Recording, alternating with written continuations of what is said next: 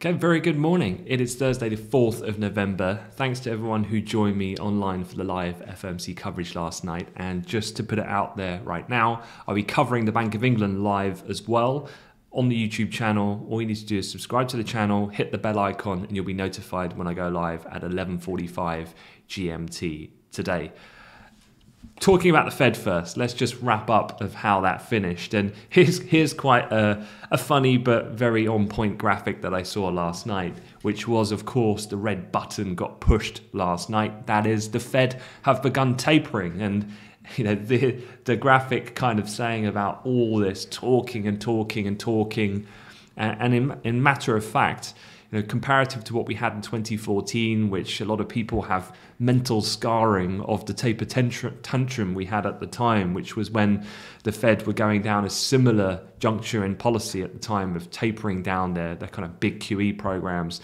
The market has really digested this with no problem at all. And take your hat off, I mean, to Jerome Powell and the Fed this is the art of forward guidance and the fact that they've been uh, able to execute this move without destabilizing markets is a function of forward guidance you know in motion in that respect. So it's been months and months and as the graphics kind of talking about here it's talking about talking about talking about tapering, and then it's talking about tapering, and then it goes on and on and on the cycle to the point at which they do it. And so this is that drip feed approach so that investors, the marketplace can reprice then for the fact that policy is going to change at a point in the future.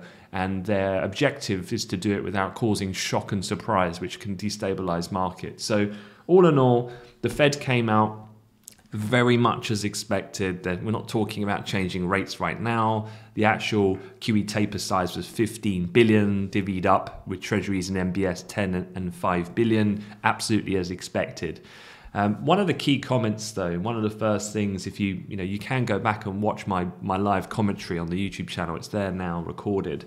But this is what the Bloomberg headlines looked like when they hit the tape last night. And as you can see here, these top three here are what I often refer to as the stickies. Um, if you have a Bloomberg terminal, if you've ever seen one, what you tend to see is a whole drop of comments, maybe 20 or so, where Bloomberg have extracted out the main sentences from the statement. But they tend to keep then, as all the comments start ticking down, three stuck at the top, which is what they deem the most important. And typically, given that most people have their eyes firmly focused on Bloomberg uh, as the benchmark terminal, the market tends to react to those first. And so, if I go through those top three headlines, the Fed says taper starting November, monthly reductions of 15 billion completely as expected. They said prepared to adjust pace of taper as warranted very much as expected. So that optionality to adjust things as conditions might evolve, because we're talking of a timeline over the period of several months. And then this was the key one inflation elevated due to factors expected to be transitory.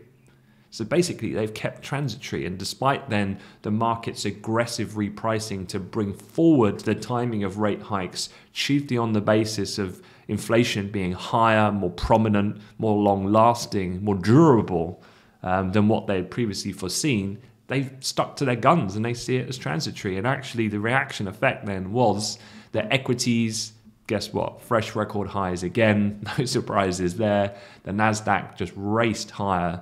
Um, S&P followed, and the Dow you can see on the left. So uniform rallies, record closes. I think for a fifth consecutive session now, as far as some of the U.S. indices are concerned.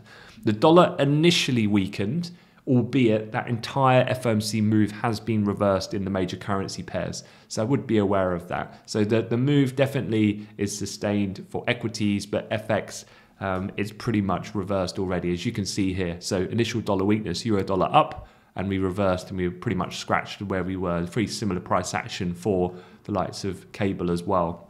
Why it's more prominent for equities, I guess, is this whole idea I was talking about in the briefing yesterday they're pulling the trigger, starting tapering, very much as expected, but a more measured approach. Uh, and as I said last night, you know, the markets tend to be quite behavioral, always tend to kind of give an inch, they take a mile with the pricing. And therefore, then when they've come out and said, you know what, we're just going to stick to our, our line of transitory, that's a supportive environment for a more cautious measured normalization approach that's supportive of equities in an environment where, after that COVID impacted weaker Q3, things tend to pick up in Q4 as the expectation, as COVID at the moment, at least, touch wood, remains fairly suppressed in the US. Uh, and with earnings being pretty decent. So equities just continue on their mer- merry old way for the moment. Um, this morning, then, T notes uh, pretty much unchanged and really lack of movement uh, to last night's announcement. You can see some of the whipsaw price action, but not a great deal.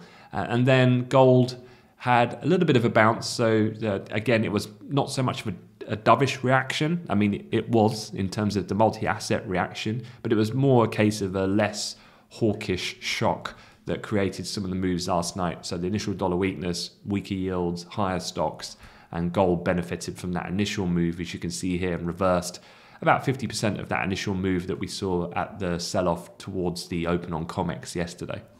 So that was the, that was the Fed.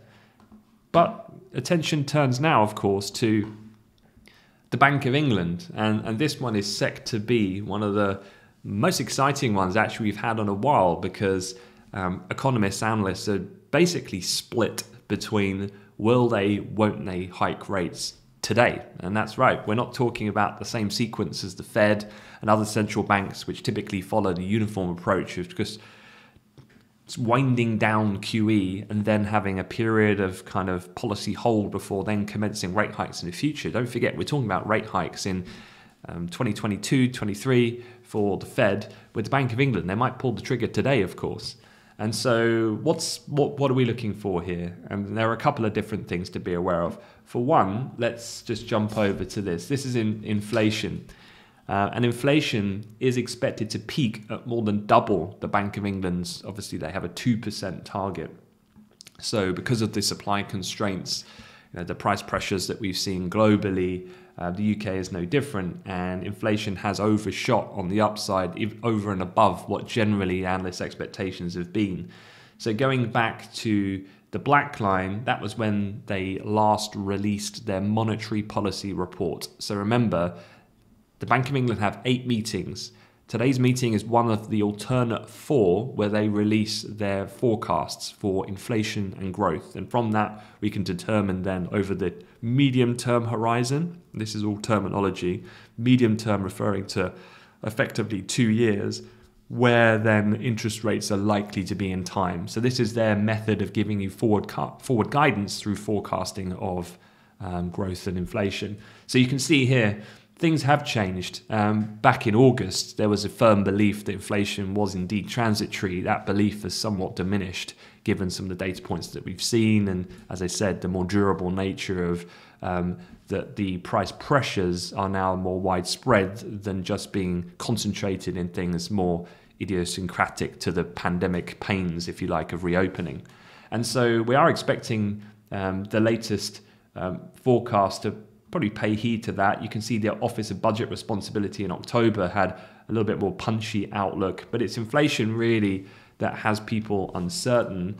However, um, I don't think I have a, a, jobs market one here to hand, but the idea is that the furlough program um, that affected the jobs market won't be available in terms of the latest data of the winding up of that program until the middle of November.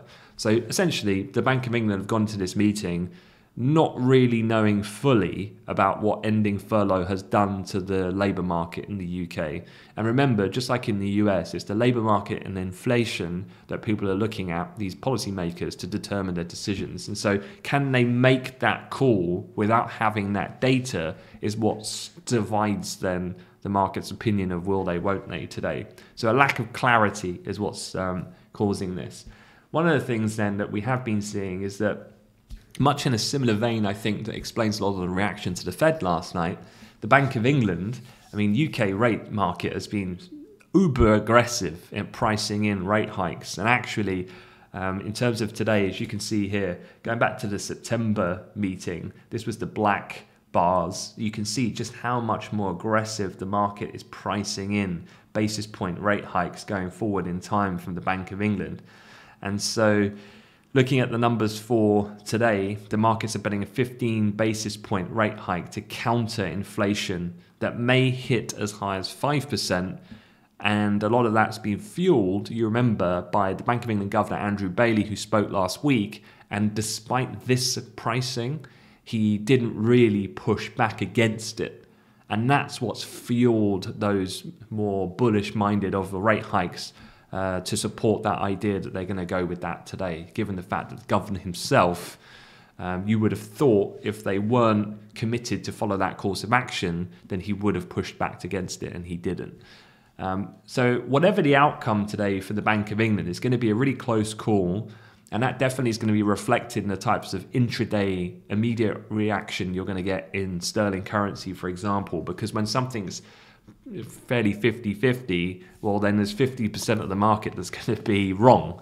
And so, therefore, unlike the Fed with tapering, where you know markets are almost entirely priced for that outcome, when it happens, the reaction is, is, is nil, if you like. So, today's going to be a pretty spicy reaction. So, I'm, I'm looking forward to covering it uh, later.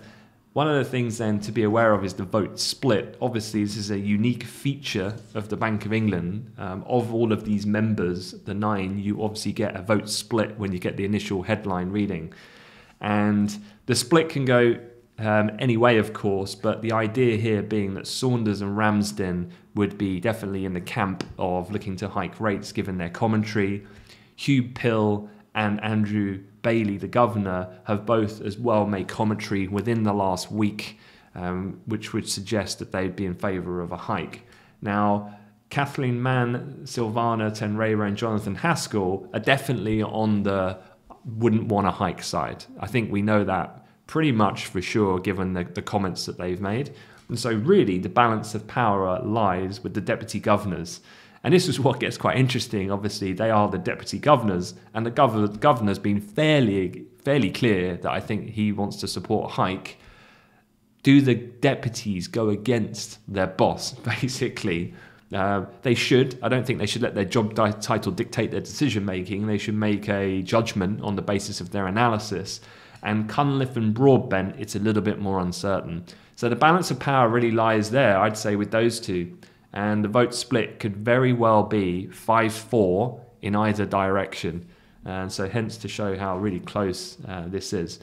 Um, I did see a comment from a senior economist at, at HSBC this morning, um, Liz Martins. She said, whatever the Bank of England decides to do on interest rates, they suspect it will at least push back a little on the extent of tightening that's been priced in via its inflation forecasts. So let me explain this in two steps. What this means is, let's say they do hike rates. Even if they do, they will want to kind of quell markets probably initial assumption then that the Bank of England are going to immediately start a rate hiking aggressive cycle as per what the markets have planned.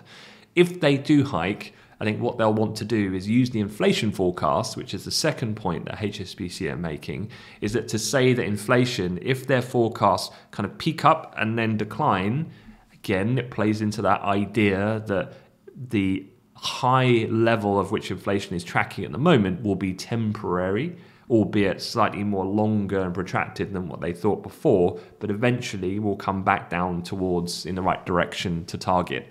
And so, therefore, reshaping that inflation expectation can then allow the markets to say, okay, they've hiked, but they're not going to go crazy and start hiking multiple times, as what markets are now starting to get into the mindset of. And so there's ways of which the Bank of England can manage this, even if they do hike rates. So one thing I would say is that although the initial reaction on a rate hike might be an aggressive pop higher in sterling, just be careful about a fading of that move if the inflation forecast then starts to suggest a moderation of inflation in a fairly sharp fashion so that they just want to hike rates up to buy themselves some room, some um, ammunition in that sense, perhaps to, to, to offset some of the price pressures at the moment, or as little as that I think would likely do. For me, I'm going to say they don't hike. Um, we'll see if I'm right or not by tomorrow, but let's see how it goes. And if they don't hike, uh, again, you're going to be looking at initial sterling weakness. It then really depends on um, what they say in the inflation forecast. But if they're not hiking yet, then one would think the inflation forecast would be more indicative of um, these current price pressures alleviating over time, which then could be quite an interesting, more persistent downward move in sterling for the rest of the session. UK yields would decline in that scenario, and the likelihood is uh, FTSE uh, equities would benefit from that that scenario. All right, let's move on. The other thing we've got, of course, today, it's obviously busy day. We've got the OPEC meeting. Um, oil yesterday fell the most in nearly two months. Uh, let me just bring it up here. Um, that sounds pretty sensational. Oil fell the most in two months. I mean, we were trading up. You know, if we go back to really the beginning of the week, we were trading at 80, 85 mark, and we've got down to 80. So we've we've shed five dollars. However, let's just put it on a weekly, and let's just like take some perspective here. We've rallied from 60 to 85. So coming off five bucks for me is nothing to sweat about. As far as the uh, the idea, you know, coming out of the intraday environment, of course, I wouldn't overinterpret this weakness thinking, oh my goodness, this is, you know, there's, there's China, COVID's picking up in a number of provinces and that's going to impede demand and all these types of things. I think as much as that may play into the short term price mechanics, I think long term, even if we pull back further, the eye or area of solid support I would look at is 76, 88, as you can see here on the weekly bars, which would be these areas here de- de- defined by those two circles. That's a, a, a, peak of price activity we had in 2018 and in um, the summer of 2021. So even if we moderate further, it wouldn't necessarily make me feel in any way negative about this current oil price, even if we came back down another four or five dollars from where we are at the moment, to be quite honest. Um, couple of things then to be aware of. One is talking of OPEC. Um, yesterday we had crude inventories, um, the DOE's rising to their highest level since August. We've also got Iran, who said nuclear talks are set to resume this month, uh, and that being on the 29th of November. I've, I always find it a bit hard to buy into this idea. So Bloomberg saying here losses after Iran announcement. Um, can't help but we've been here before, right? Many times, if you followed this briefing over the course of the last year, how many times has the market um, just got super giddy and excited about the fact that Iran's entering dialogue with the West again, only then for the inevitable to happen that it's a very hard thing to re-establish a relationship that just basically was you know destructed over the course of the Trump administration and so um, I still find it uh, this move that's happened, this moderation in prices from these recent highs, is more profit taking, and the news is just a catalyst to do so rather than the news being the driver of the move, if that makes sense. So it's good. They're going to chat. Are they going to broker a deal and Iran's going to flood the market? No, I don't think so. Not anytime soon, for sure. Um, so, a couple of other things. OPEC then is meeting virtually today. Um, the US has called on the group to raise supplies faster to quell the high domestic price that they're seeing at the moment. Just another another headache for Joe Biden at the moment, who I don't know if you followed, and I haven't really covered in the briefings, but there's been some quite interesting political movements happening in Virginia, um, where the Democrats lost. They got wiped out effectively by I think he was a, pri- a, a previous private equity guy who, who stormed an area of which the Democrats ruled by a long distance only not that long ago when the election happened. And it's not. It's not a big deal, but it's not a good sign for Biden. And, and certainly he's under multiple pressure points at the moment. We're trying to get passage with his bills and foreign policy and lots of other things at the moment. Um, but back to the point of OPEC, the US have been putting a lot of pressure um, on OPEC because, of course, high prices at the pump are not then conducive of high consumer morale for the administration. Um, I guess the question then comes is is OPEC going to react to this? Um, the answer to that is no. Uh, I think they've been fairly clear. Russia, who's like one of the key players in this, as well as Saudi, uh, they're just going to stick to their plan of gradually returning oil to the market of 400,000 barrels per day. That's their predetermined kind of game plan, and I think they'll stick to that, and they will not um, react to what the US is saying. Don't forget as well, there's a degree of optics in what the US are trying to construct at the moment. So whether or not OPEC react to what the US say or not doesn't I don't think really matter for Biden and the administration. They just need to be appear to be putting pressure on to deflect then the blame of high prices onto the Middle East, for example, which I think tactically is a sensible approach. Um, so yeah, that that's pretty much it. Um, uh, other reasons for caution, as I mentioned, the COVID situation in China is deteriorating. Might well lead then to the idea that look, we are going to return crude to the market, but we're going to follow the plan. There's no need to get more aggressive with it as we adopt a more cautious approach to see how some of these COVID um, outbreaks play out in, in mainland China. All right. Otherwise, what else have we got today? Well, we've already had some German data. Industrial orders um, came in just a slight bit weaker than expected, nothing dramatic, 1.3 against 2%. Uh, otherwise, the morning fairly quiet. You do have the service PMIs, but these are final readings for October. So then, really, it's the Bank of England, and remember, you've got 12 o'clock, and then Governor Bailey speaks at 12:30, and we also have don't forget, you get the minutes, you get the vote split, you get the monetary policy report, those forecasts all coming out today. So once again, I'll be live on the channel at 11:45. Then in the US afternoon, your regular weekly jobless claims uh, coming out, expected to decline once more to 275,000 um, against the previous 281. Speaker wise, aside from Bailey, it's probably worth noting that Christine Lagarde and Schnabel from the ECB speak at 12:45. Now, um, Lagarde's speech yesterday, she pushed back against market bets for an interest rate increase in 2022. She was a little bit more explicit yesterday, uh, and that comes after the fairly timid approach that people interpreted from her ECB meeting that we saw most recently. So, despite the likes of the Fed tapering and potentially the Bank of England hiking, Lagarde kind of taking Europe out of that group and being a little bit more passive in terms of controlling and the, the, European rates market not getting caught up in that more kind of hawkish mindset. Um, and that's what she was trying to push back against. Um, otherwise, Elderson and Schnabel speak again at 2 and 6.15 respectively. Supply, fixed income out of Spain and France, fairly sizable amounts this morning. Uh, and then that is pretty much it. So I'm going to leave it there. Hopefully I'll see you guys as well later on um, on the YouTube channel. And uh, good luck for today. Take care.